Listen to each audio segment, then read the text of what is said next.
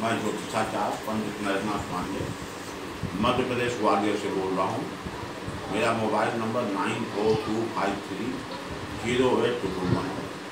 एक बार mobile number और आप लोग सुन लें nine four two five three zero eight two one है।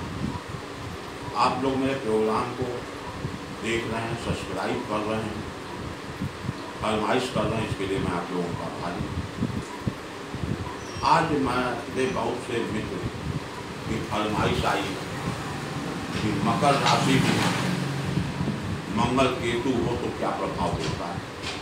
दोस्तों, मैं एक चीज़ बता दूँ कि मकर राशि उच्च भाव मंगल होता है और एक मई 2018 से मंगल मकर राशि में केतु के साथ आने जा रहा है। उसकी युक्ति रहेगी। मैं लग्न से लेकर के बारहों भाव तक मंगल केतु युक्ति के बारे में बताने जा रहा हूँ। आप लोग ध्यान पूर्वक सुनिए। जिसके कुंडली में लग्न मकर राशि हो, उसमें मंगल केतु बैठा हो, ऐसे लोगों को शारीरिक पीड़ा होती है, जिद्दी होते हैं, क्रोधी होते हैं। इन, इनके कार्य करने की क्षमता अच्छी नहीं होती है। शादी विवाह में भी विलम्ब है। ये सज्जन के ऋषभ लग्न ऋषभ लग्न में जिस सज्जन के दू, दूसरे भाव में मकर राशि हो उसके अंदर मंगल और केतु बैठा हुआ हो ऐसे लोग आर्थिक रूप से परेशान रहते हैं उन्नति में रुकावट आती है धन की हानि कराता है मानसिक पीड़ा देता है। और जीवन संघर्ष के साथ देते जिस व्यक्ति के तीसरे भाव में मकर राशि हो, उसमें मंगल और केतु बैठा हुआ हो, ऐसे लोग माता पिता से विवाद जीवन विवादित जीवन काटते हैं। ऐसे लोग माता पिता के सहयोगी नहीं होते हैं। ऐसे लोग के माता पिता का विचार ठीक नहीं रहता है। भाई बंधुओं से भी अच्छा संबंध नहीं इस सज्जन के चौथे भाव में मकर राशि हो, उसमें मंगल और केतु बैठा हुआ हो। ऐसे लोग चरित्र इनके गिर जाते हैं, नशा पानी करते हैं।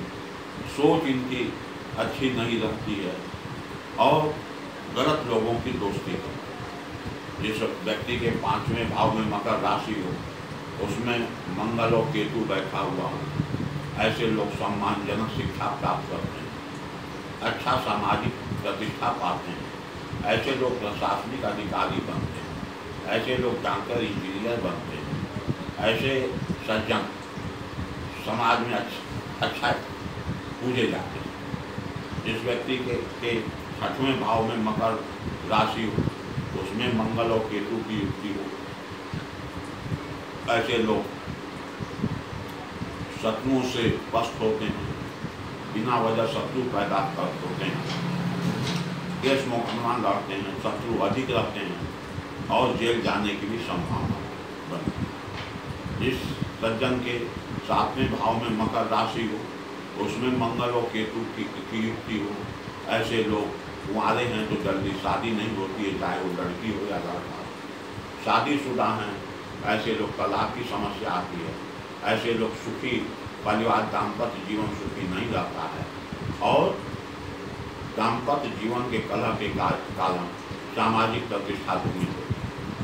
जिस व्यक्ति के आठवें भाव में मकर राशि हो, उसमें मंगल और केतु विराजमान हो, ऐसे लोग स्वास्थ्य के कारण चिंतित रहते ऐसे व्यक्ति अल्पायु की संभावना रहती है। ऐसे लोगों की दुर्घटना की संभावना रहती है। ऐसे लोग समा, समाज में अपने गलतियों के कारण अपमानित हो। जिस व्यक्ति के नौवें भाव में मकर राशि हो उसमें मंगल केतु की युक्ति हो ऐसे लोग कम परिश्रम या अच्छा इज़्ज़त प्राप्त करते हैं।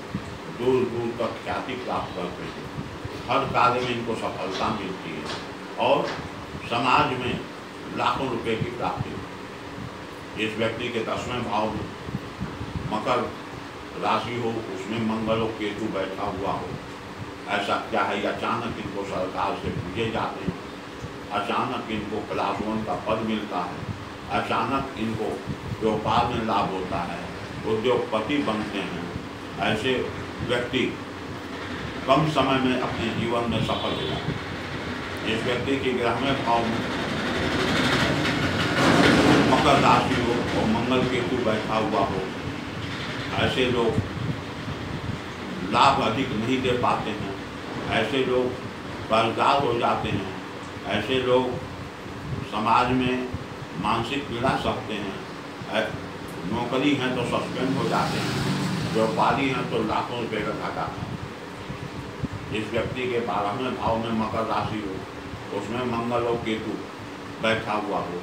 ऐसे विदेश लोग विदेश जाते हैं, ऐसे लोगों के संतान योग्य होते हैं, ऐसे लोग समाज में अच्छा यश कृति प्राप्त करते हैं, ऐसे लोग सामाजिक कार्य करते हैं, ऐसे लोग गरीबों का, के सहयोगी होते हैं और दान दक्षिणा के प्रति इनका लगाव।